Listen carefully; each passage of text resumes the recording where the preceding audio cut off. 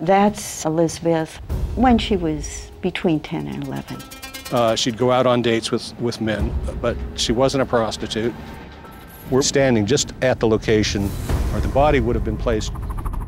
The killer was a surgeon, not a meat cutter, not a butcher, a skilled professional surgeon. And he signs it Black Dahlia Avenger. Cut across uh, the bone in order to separate. He wanted to teach me When you were 11? 11. My father had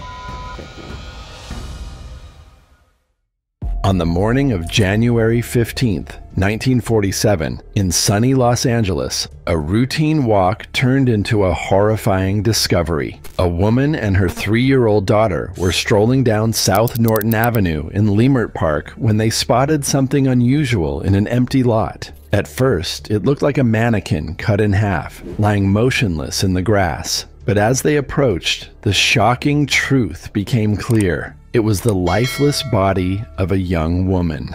This is the story of Elizabeth Short, better known as the Black Dahlia, which remains a haunting enigma, shrouded in layers of puzzles, mysteries, and unresolved questions. I want people to know she was a very nice person. She was not just beautiful outside, she was beautiful inside. Elizabeth Short was born in 1924 in Boston, Massachusetts. She grew up with her mother and four sisters in Medford. That's Elizabeth when she was between 10 and 11. Her mother raised her daughters alone. However, a few years later, she moved to California with her father at age 18. Short's dream was to become a movie star. Therefore, in 1943, without her father's support, she left to live alone. At this time, she was known as Beth, and people described her as a porcelain doll with black hair and light colored eyes. Despite her delicate appearance, she worked part time as a waitress, cashier, and model in Los Angeles. Most of the girls are applauded, thanked, and then quickly forgotten till the next contest comes along.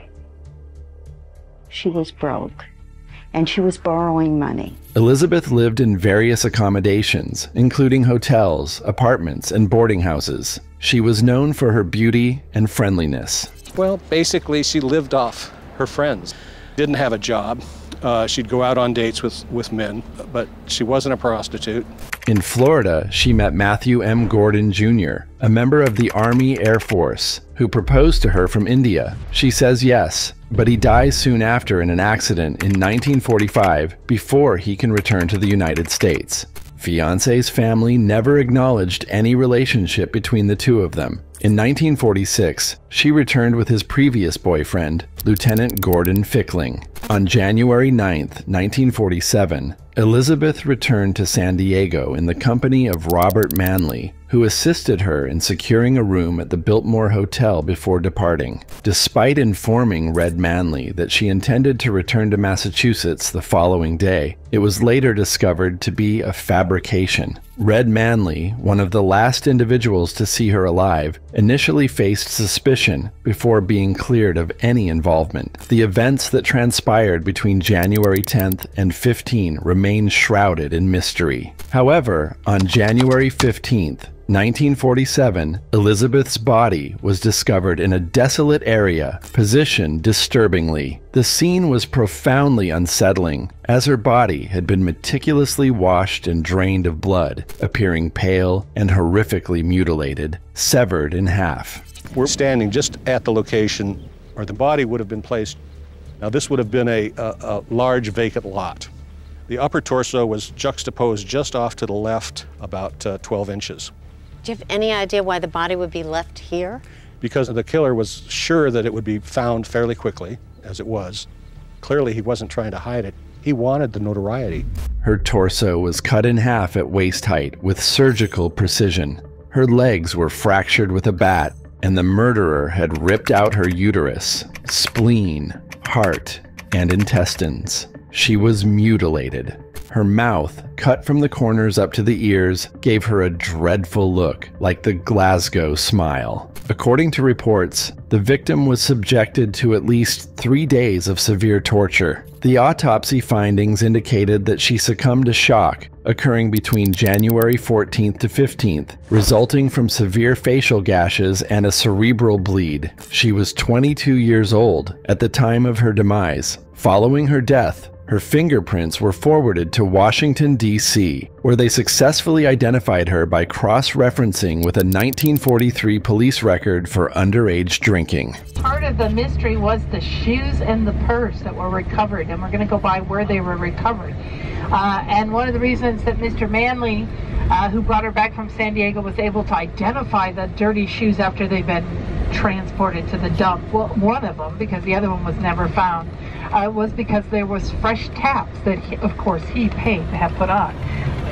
Nine days later, a man claiming to be the killer contacted the Los Angeles Examiner newspaper editor and delivered a package with Elizabeth's documents and belongings. So the case goes viral, and here are some, just a few of the headlines. This is viral in those days. This is what we what we call viral today, but back then it was there were six major newspapers in Los Angeles, and all headlines, uh, mostly above the fold, and it went for like 30 to 40 days straight. She was the main story for 30 She was days. she was the story. Uh, well, I think the first one showed like two or three days uh, after the murder, and then they came two or three days after that. So they came for several weeks. A man identifying himself as the Black Dahlia Avenger sent a letter to the police, making a conditional offer to surrender if they agreed to sentence him to 10 years in prison. The letter was deliberately covered with gasoline to thwart any potential fingerprint identification. Additionally, the sender crafted the message using cutouts from newspapers and magazines. Uh, he sends in a bunch of them, and then this one, he says he's gonna. On the note, he's this was actually appeared on the front page of the newspaper, and it says, "Turning myself in on January uh, 29th, had my fun at the police," and he signs it Black Dahlia Avenger. So it's a printed note that he, he sends in, and this is about the fifth or sixth note that he sent in. The others are disguised, Five or six notes already. handwritten, disguised, in, in about a week or 10 days after the killing. Now, telling the was it technology at that time? Are you aware? I mean, were they able to try to grab fingerprints off the letters? Could they have that technology back They, then? they had the they had fingerprint technology, but supposedly uh, they were soaked in gasoline. But I don't know about soaked, but they had the smell of gasoline on them, and they they, they weren't able to come up. Well, actually, they did come up with some prints, whether they were the killers or not, we don't know. Of course, they had some identified lifts that they were able to send to the FBI. According to rumors, Mark Hansen's wife was housing Elizabeth in their apartment at the time. Despite being the main suspect, he had police contacts and was declared innocent. Meanwhile, Elizabeth's father denied any involvement for three years and refused to identify the body. In contrast, Elizabeth's mother took care of the body under false pretenses, believing her daughter had won a beauty pageant. In reality, Elizabeth was the victim of an atrocious homicide. On January 26, 1947, the newspaper received a letter from the supposed killer, indicating the exact location where he would turn himself in. However, he changed his mind and vanished, and no one ever heard from him again. On a side note, the crime and its investigation were on the front pages of newspapers for 35 days straight since the discovery of the body. The Los Angeles Police Department conducted a thorough investigation. More than 750 people worked on the operation, bringing more than 190 suspects, but making zero arrests. Basically, there was a lot of corruption in LA. Okay, so the grand jury, the 49 grand jury, said, you know, something's wrong here. None of these murders are being solved. You know, uh, the gangsters aren't being arrested. And back then, you have to understand historically, LAPD was a very corrupt department. Half the department was on the take. The city council even offered a $10,000 reward for anyone who could provide significant leads about the case. As a result, more than 50 men and women gave false confessions, claiming to be responsible for the murder, which further complicated the investigation.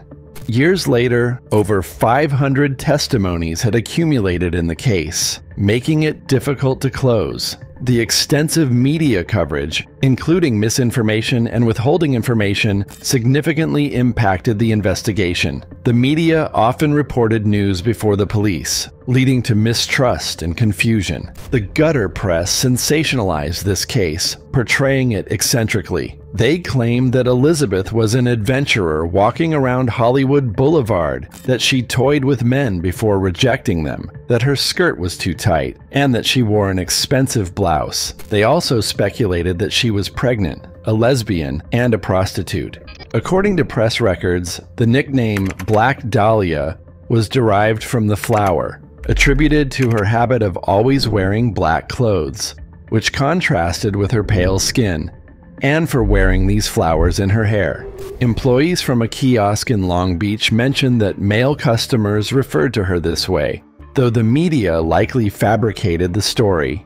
The term is also associated with the 1946 noir film The Blue Dahlia, which premiered a year before the crime and tells the story of a girl's disappearance. Though most documents from that time are now lost or at least closed to the public, in 1999, homicide detective Steve Hodel studied the case intensely and concluded that his father, George Hill Hodel, one of the main suspects back then, had been the real killer of Elizabeth Short. Here's a photograph of me sitting on father's lap. And that's you here? Yeah. And that's your father? Right. Since the body was found mutilated with incredible precision, many investigators thought that only an experienced doctor or surgeon could have been responsible for that. I started looking at the crime itself. And what I discovered, to my surprise, was that the killer was a surgeon, not a meat cutter, not a butcher, a skilled professional surgeon. Subsequently, many doctors were accused, including Steve's father, George Hodel, a respected doctor. He had studied surgery and had a clinic specializing in intimidatingly transmitted diseases. His practice was just a few blocks away from the hotel where Elizabeth was seen alive for the last time. Steve believes Elizabeth might have been one of his father's patients, and according to witnesses, they might have been lovers as well. The person who committed this horrible crime cut across uh, the bone in order to separate one half of her body from the other half of her body. George Hodel owned an extravagant mansion in Hollywood where he would throw parties with many film industry celebrities and wannabes. I would describe it as looking like a Mayan temple. It really did. It was a fortress from the world. The kind of charm and power that he had. Flew to San Francisco. I'm sitting there with June, my stepmother, who had been with my father for 30 years. And June said, I think your father would want you to have this. And she handed me this small album. I looked at it and I said to June, June, who is this? And June said, I don't know, somebody your father knew from a long time ago. Steve believed that this woman was none other than Black Dahlia. I see strong similarities in the mouth and the nose, the hair. He also believes that his father might be responsible for the crimes of the Zodiac Killer, another criminal who remains unknown. Added to this, the psychological profile of George Hodel matched to a great extent the wicked nature of the crime. He had been charged with intimately abusing his daughter Tamar. I have seen my father's cruelty. When I was 11, he wanted to teach me. When you were 11? 11. Your own father? My own father. Former singer Michelle Phillips is Tamar's friend. This is how she'd grown up in this crazy environment with her father, and she had obviously been used as an object with him and his friends. It was all amazing to me. There was also proof that linked him to the death of his secretary and illegal abortions. But there was a problem. There are recordings of George Hodel that came to light in 2003, in which he admits being one of the suspects in the Black Dahlia murder and concludes by saying that they could never prove him guilty. Steve believes they didn't turn his father in, fearing they would uncover an illegal abortion organization and police corruption happening in the shadows of Los Angeles. On a side note, abortion was legalized in California in 1973. And it's my father's handwriting. I know my father's handwriting. There's, there was no, no question about it. So at that point, I thought, oh my God, this is the real deal. He reported his suspicion to District Attorney Stephen Kay. Steve Kay speaking. When Steve called me and told me what he had concluded, you could have knocked me off my chair. I, I it was just, wow. Kay also agreed with Steve. However, the strange position in which the body was found particularly the angle of her arms, also resembled a painting called Minotaur by famous surrealist painter Man Ray, Dr. Hodel's close friend, with whom he supposedly shared dark fantasies. The body was positioned uh, north to south, so this is this is north. It was carefully placed. You just you're not going to get these this positioning. The hands were positioned over the head as if almost to form horns. It is speculated that the murder was part of an artistic piece in association with his friend, like an exquisite corpse. A crime so horribly shocking that it could stay engraved in the popular consciousness.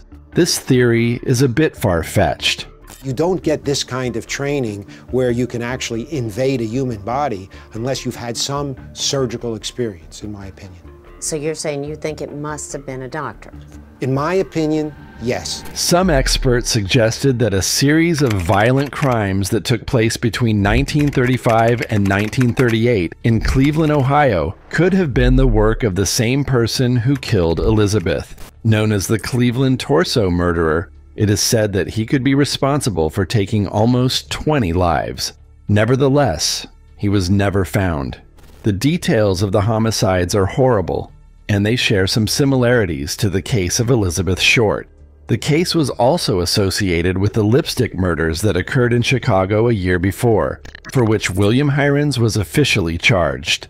According to the investigation, the calligraphy of the messages written with lipstick matched to a large extent with the letters sent by the alleged Black Dahlia murderer. William Heirens was sentenced to 65 years in prison becoming Chicago's longest serving prisoner.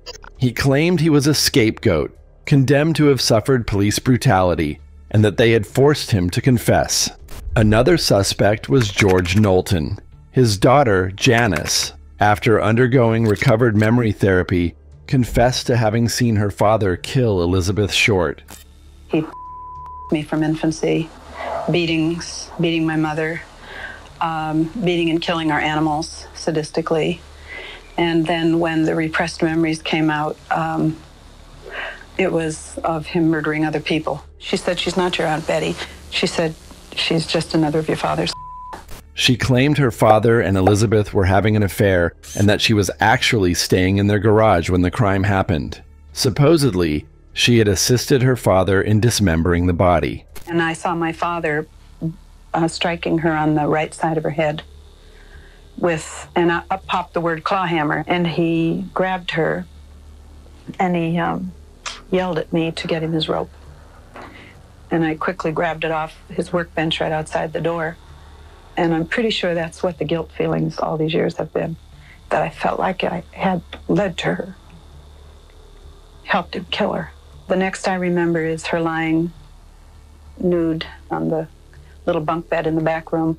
Many other theories involve a folk singer, many doctors, and even the editor of Los Angeles Times Magazine, Norman Chandler, who supposedly got Elizabeth pregnant when she was working as a prostitute and then hired a gangster to kill her.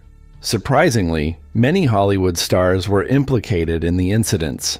Some believed there was a high class satanic cult where people from the industry performed intimate rites. As unbelievable as it sounds, even people like Walt Disney and Orson Welles were in the spotlight. Three months before the crime, Orson Welles had created the set called The House of Mirrors for his film The Lady from Shanghai, where he used several mannequins cut in similar ways to Elizabeth Short's corpse. He was known for having quite a temper and adopting strange behaviors during that time. Supposedly, the victim had an affair with a producer associated with the famous director. Curiously, Columbia's president requested the scenes shot in the House of Mirrors be cut from the film. However, to this day, the crime is still the most obscure mystery that was never solved. similar to Jack the Ripper. The case inspired many tributes, books, movies, and series. To this day, the true identity of the killer remains unknown. Today, it's one of the most famous mysteries in Hollywood history.